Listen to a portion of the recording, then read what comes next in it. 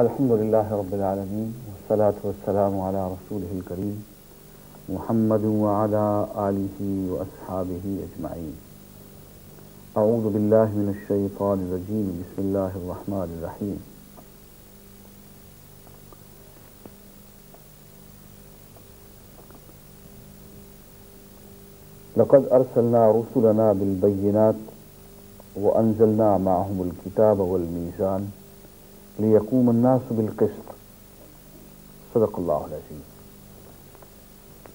अजीज़ान गरामी वालेकुम मैंने सूर अल हदीद की एक आयत तिलावत की है इसका तर्जुमा ये है कि हमने अपने रसूलों को भेजा खुली खुली निशानियाँ देकर और उनके साथ ही हमने किताब नाजिल की और हमने मीज़ान नाजिल किया ताकि लोग इंसाफ पर कायम हो जाएँ।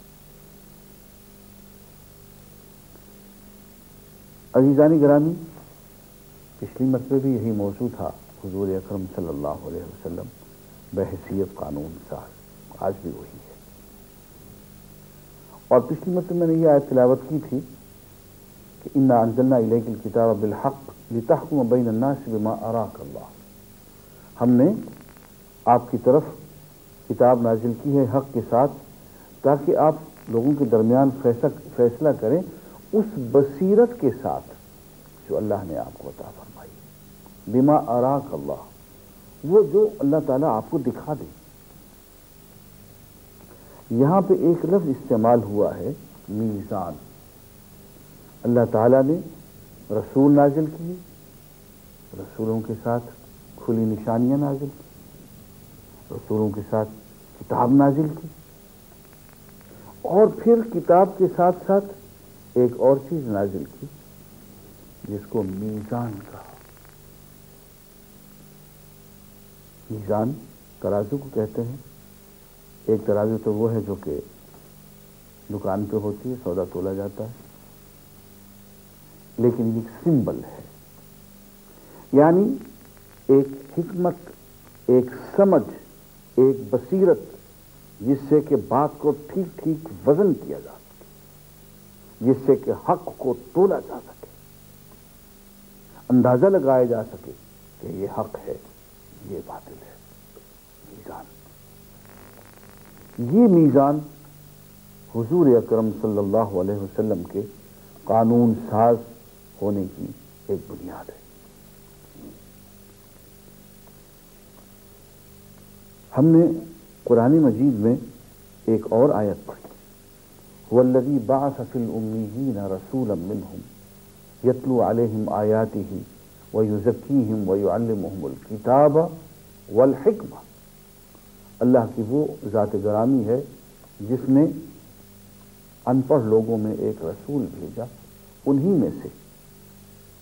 वो उन्हें अल्लाह की आयात पढ़ सुनाता है।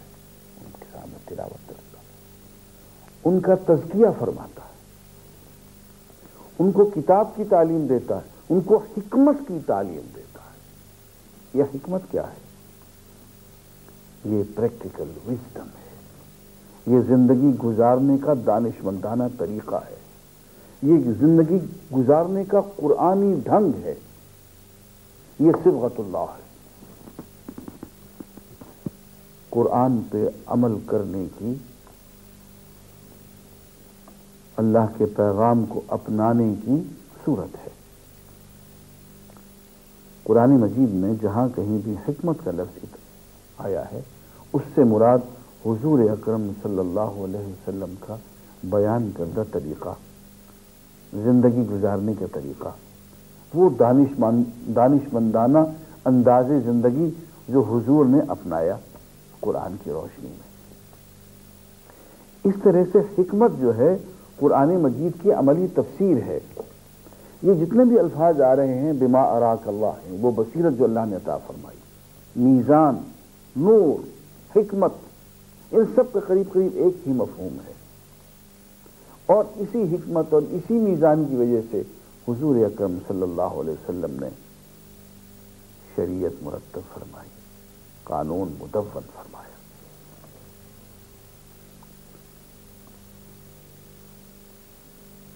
सूरह शूरा में हम पढ़ते हैं अल्लाजी अनजल किताब बिलहक वल मीज़ान अल्लाह की वो ज़ात ग्रामी है जिसने किताब नाजिल की, हक के साथ और मीज़ान उतारा। मीज़ान, तौर, अंदाज, तराजू। और फरमाया फ़ादिनु बिल्ला व रसूल ही व नूर अनजलना। अल्लाह पे ईमान लाओ। अल्लाह के रसूल पे ईमान लाओ और उस नूर पे ईमान लाओ जो अल्लाह ने उतारा। अजीज़ान ग्रामी मुफसरीन ने यहाँ नूर से मुराद कुरान मजीद लिया है। लेकिन मुझे इसरार है कि यहाँ भी नूर से मुराद नूर नबूवत है, नूर मोहम्मदी है, नूर रिसालत है, नूर रब्बानी है, नूर इलाही है। जो अल्लाह की तरफ़ से नाजिल किया गया है। बिल्कुल इसी तरह से जैसा कि इस आयत में है, कद जाकुम मिन नूर व किताब मुबीन। देखो अल्लाह की तरफ़ से आ गया। नूर और किताब खुली खुली। यहाँ नूर से मुराद हजूर अक्रम वसल्लम की ज़ात करामी का नूर है। इसलिए कि हुजूर अकरम सल्लल्लाहु अगर रोशनी नहीं है तो फिर रोशनी कहाँ है? अगर हुजूर नूर नहीं है तो फिर नूर कहाँ है? फिर तो सब अंधेरा है। अल्लाह की तरफ़ से कुरान मजीद नाजिल किया गया, लेकिन उसको लाने वाले मोहम्मद रसूलुल्लाह हैं।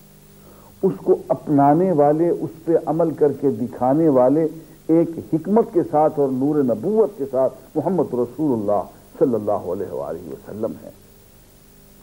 इस एतबार से हिकमत, मीज़ान, बसीरत, नूर, ये सब अल्फाज हम माना करार लाते हैं। और यही वो हकीकत है जो हुजूर अकरम सल्लल्लाहु अलैहि वसल्लम को शार सलाम बनाते और फरमाया, वो अनजलना का ज़िक्र अली तुबैन से मानुजिला रहम हमने आपकी तरफ़ ज़िक्र नाजिल फरमाया, ताकि आप बयान करें लोगों के सामने और खोल खोल के रखें तशरी फरमाएँ, वो चीज़ जो उन लोगों की तरफ़ नाजिल की गई तो ये हुजूर अकरम सल्लल्लाहु अलैहि वसल्लम का मकाम है बतौर शार के, शरीयत अता फरमाने वाले के, कि हुजूर ने हमें शरीयत अता फरमाई है। और हुजूर अकरम सल्लल्लाहु अलैहि वसल्लम अल्लाह ताला की अता करदा हिदायत के तहत कुछ चीज़ों को हलाल करार देते हैं, कुछ चीज़ों को हराम करार देते हैं। यहाँ एक अहम बात कि वो शरीयत जो हुजूर अकरम सल्लल्लाहु अलैहि वसल्लम की तरफ़ से नाजिल हो गई, उसका निफाज क्योंकि वो शरीयत जो है वो निज़ाम की बुनियाद है। उसी के तहत निज़ाम मुरतब होता है, पूरी ज़िंदगी का इज्तमाही निज़ाम। वो सियासी हो माशी हो, सियासी हो, अदालती हो, कानूनी हो। उस शरीयत के तहत वो एक निज़ाम मुरतब होता है। फरमाया, इस निज़ाम को नाफिज करना, अपनाना, हर मुसलमान के लिए ज़रूरी है। फरमाया मल्लम यहकुम बिमा अनजल अल्लाह फ़लाफ़ासिकून जो कुछ अल्लाह ने नाजिल कर दिया है जो लोग इसके मुताबिक फैसले नहीं करते इसके मुताबिक कानून साजी नहीं करते यही लोग फासिक हैं फरमाया इसी सूरा मायदा में बल्कि इसी सफ़े के ऊपर उमल्लम यहकुम बिमा अनजल अल्लाह जो लोग अल्लाह के नाजिल की हुई किताब के मुताबिक कानून नहीं बनाते फैसले उसके मुताबिक नहीं करते फ़ौला हो यही लोग जालिम हैं। बल्कि यहाँ तक फरमाया इसी मकाम पे ही चंद सतरें जरा सा आगे। उमल्लम याहकुम बिमा अनजर अल्लाह फ़ौला काफिर जो लोग अल्लाह के नाजिल करदा हुक्म के मुताबिक, अल्लाह की नाजिल करदा किताब के मुताबिक, अल्लाह के भेजे हुए रसूल के हुक्म के मुताबिक फैसले नहीं करते। यही लोग काफिर हैं। और ये आयत तो मैंने गुजशत जुमा भी पढ़ के सुनाई थी। कुलिया अहल किताब, लस्तुम अला शैन हत्ता तकीम तौरात वल इंजील वमा उनजिल इलैकुम रब्बिकुम। ए अहल किताब, तुम्हारी कोई हैसियत नहीं है। अगर तुम तौरात को नाफिज न करो, अगर तुम इंजील को कायम न करो, और इस किताब को, इस शरीयत को, इस दीन को, इस तालीम को जो अब तुम्हारी तरफ़ नाजिल की गई है। इसको अगर तुम नाफिज नहीं करते हो तो तुम्हारी कोई हैसियत नहीं है। मालूम हुआ कि इंसान की ज़िंदगी का, और ख़ास तौर पर मुसलमान की ज़िंदगी का बहुत बड़ा मकसद ये है कि अल्लाह के भेजे हुए निज़ाम को, अल्लाह के भेजे हुए दीन को, अल्लाह की भेजी हुई शरीयत को, जिसे रसूलुल्लाह सल्लल्लाहु अलैहि वसल्लम बहसीत कानून साज के हम तक पहुँचा चुके हैं। इसको नाफिज करना मुसलमान की बुनियादी ज़िम्मेदारी है। इस मौके पे मैं चाहता हूँ कि एक बुनियादी फ़र्क अर्ज़ करूँ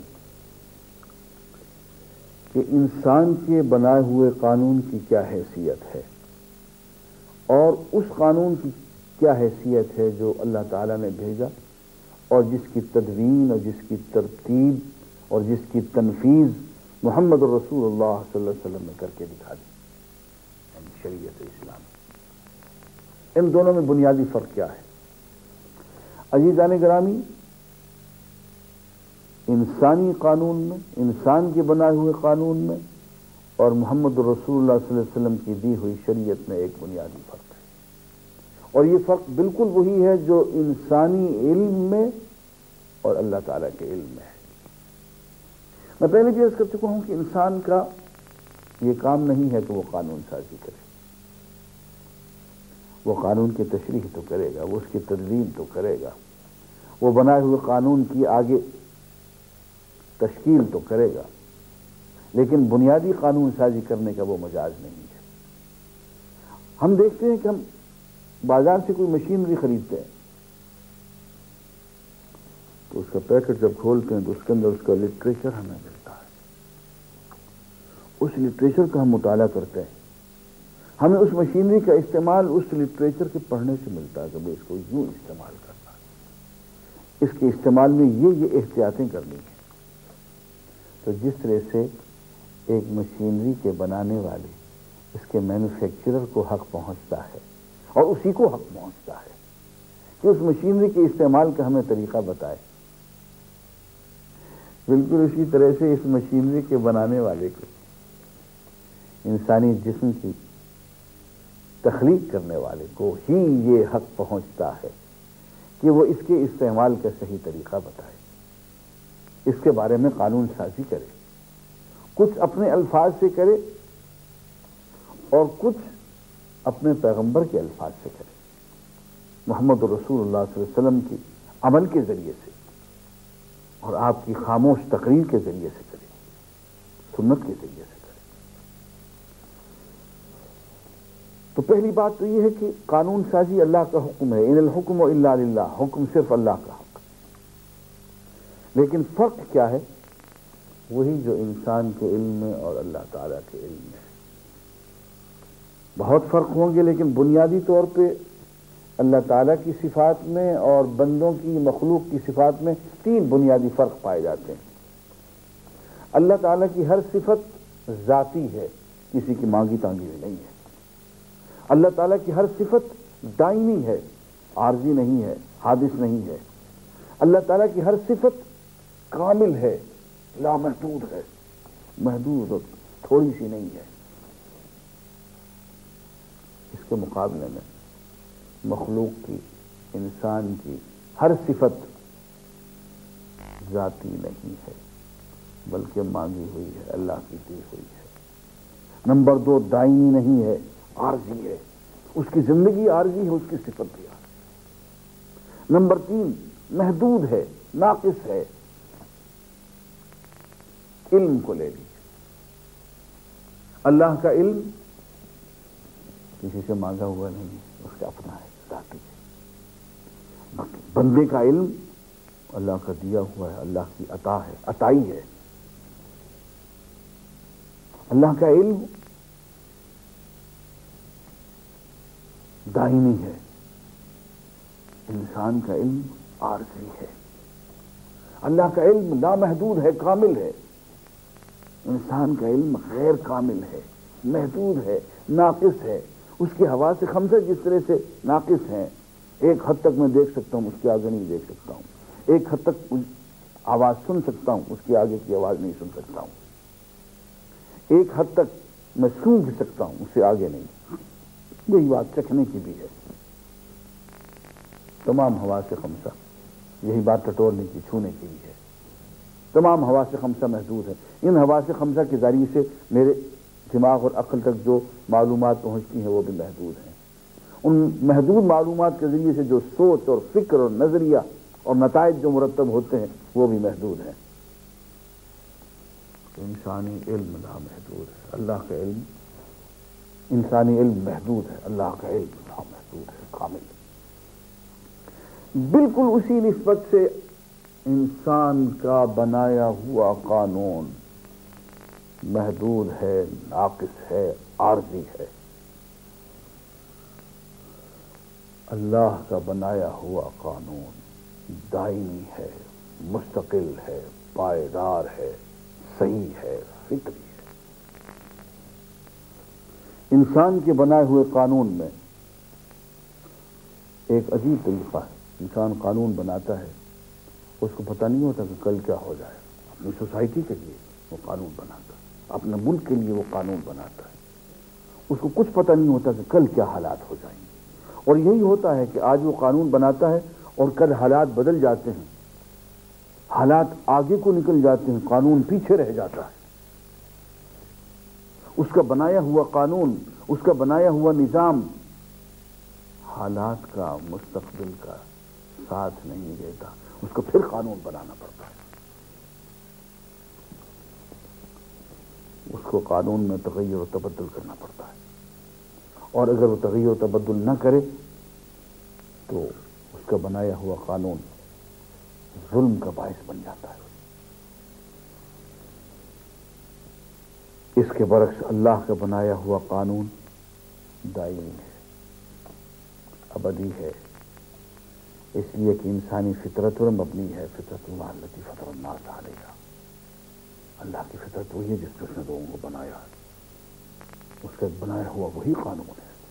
है फितरत के मुताबिक। वो मैन्युफैक्चरर है, वो खालिक है। वो मशीनरी के बारे में जो लिटरेचर लिखेगा, वही ठीक होगा। उसके मुताबिक मशीनरी को इस्तेमाल करना पड़ेगा। इस एतबार से अल्लाह के बनाए हुए कानून में एक दवाम है, एक लचक है, तमाम हालात और वक्त की लंबान खा आगे को बढ़ जाए। खा जोग्राफिया मशरक की तरफ़ जाए, खा मगरब की तरफ़ जाए। खा ऑस्ट्रेलिया हो खा अमेरिका हो खा अफ्रीका हो, अल्लाह का बनाया हुआ कानून हर जगह काबिल अमल होता है। उसमें इतनी लचक होती है, उसमें इतनी आफाकियत होती है कि उसको आप कहीं ले जाएँ। वही तमाम मसाइल का हल होगा। और उसके अलावा जिस जिस चीज़ को आप मसले का हल बताएँगे, वो हल नहीं होगा बजाते खुद एक मुश्किल और एक मसला बन जाएगा।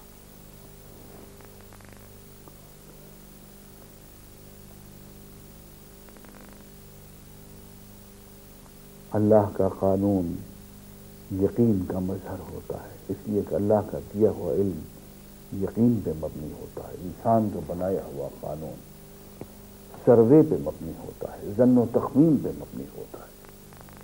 अटकल पच्चू पे मबनी होता है। इसलिए इम्कान इस बात का होता है कि इंसान का बनाया हुआ कानून नब्बे फ़ीसद गलत अंदाजों पर मबनी हो और गलत हो और नुकसानदेह हो। अल्लाह के बनाए हुए कानून में और मोहम्मद रसूलुल्लाह वसल्लम की दी हुई शरीयत में ये खराबी नहीं हो सकती। इंसानी कानून महदूद होने के साथ साथ इंसानी कमजोरियों का मजहर है। इंसान के इज्ज, इंसान के महदूद इल्म, इंसान की जज्बातियत, इंसान के गुस्से, इंसान के लालच, उसकी खुद गर्जी ये सारी चीज़ें इंसानी कानून साजी के अंदर अंदर आ जाती हैं। जब एक ऐसी असम्बली कानून बना रही होती है, जिसमें सारे जागीरदार बैठे हुए हों तो कोई कानून ऐसा नहीं बना सकते जो आवाम की बेहतरी का हो और जिसमें जागीरदारों को नुकसान पहुँचाया जा रहा हो। इस एतबार से इंसान के बनाए हुए कानून में इफरात और तफरीत होती है।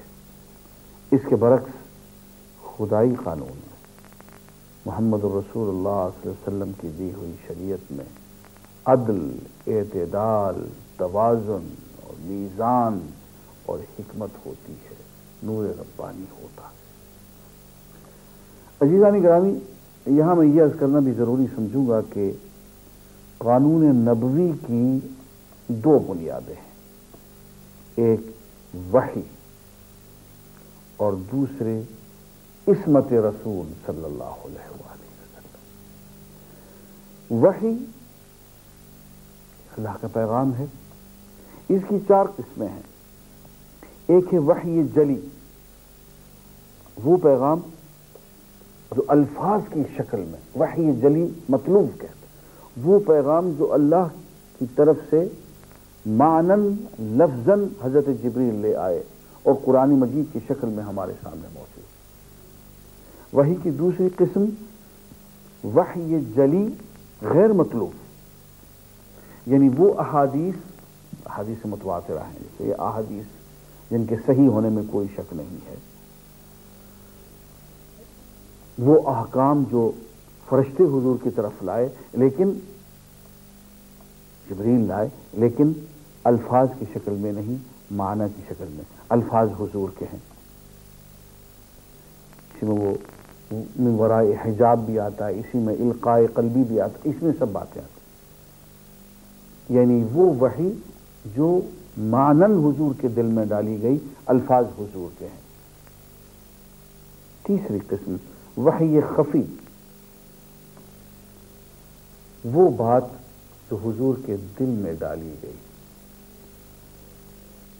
और वो बात जिसकी बुनियाद वो नूर नबूवत है, वो हिकमत है, वो मीज़ान है, जो हुजूर की तबीयत का खासा बन चुकी थी। जिसके तहत हुजूर गलत नहीं सोच सकते थे। आपकी सोच भी आपकी नुत्क रब्बानी के ताबे हुआ करती थी। इसमें उसूल तशरी के तहत गौर खौज भी है, इसमें इश्तहाद भी है, और ये सब इल्म यकीन के तहत आता है। वही की एक चौथी किस्म भी है, जिसको वही मालन कहते हैं। ये वो है जो अल्लाह की तरफ़ से इल्हाम है, मगर इसमें हुजूर की अपनी राय भी है, हुजूर का इश्तहाद भी है, सहाबा से मशवरा भी है, और हुजूर का एक अमल भी है। इसमें अगर कहीं गलती हो जाती है तो टोक दिया जाता है। जनाब, यूँ नहीं, यूँ। और गलती नहीं होती है, और अल्लाह ताला खामोश रह जाते हैं तो उस पर मोहर सब्त हो जाती है कि यही हक के मुताबिक है। तो वही की ये चार किस्में हैं। और हजूर अकरम वसल्लम की ज़िंदगी के सारे अमाल इन्हीं चार वही के दायरे के अंदर अंदर आते हैं।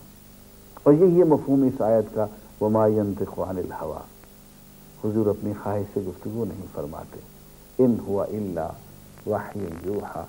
वो जो कुछ भी गुफ्तु करते हैं, वो किसी न किसी शक्ल में वही होता है, जो आपकी तरफ़ की जा रही होती है। इल्हाम की जा रही होती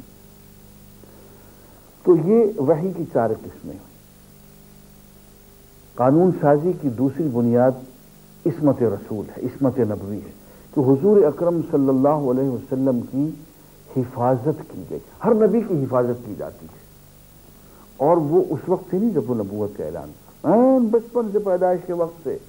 पूरी तैयारी की जाती है इस बात की कि इस शख्स नबी का काम लेना है।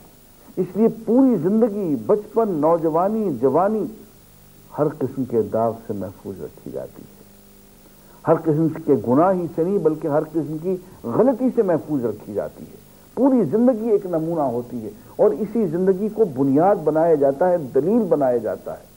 देखिए, कुरान मजीद में हम पढ़ते हैं जो सुनाते हैं, वक़द लबिस तुफी तुम अमर अपने कबली फला ताकलू, मैं इससे पहले एक उम्र तुम तुमने गुजार चुका हूँ। तुम अकल से काम नहीं लेते हो। मेरी चालीस साल की ज़िंदगी को तो देखो, वो कैसी ज़िंदगी है।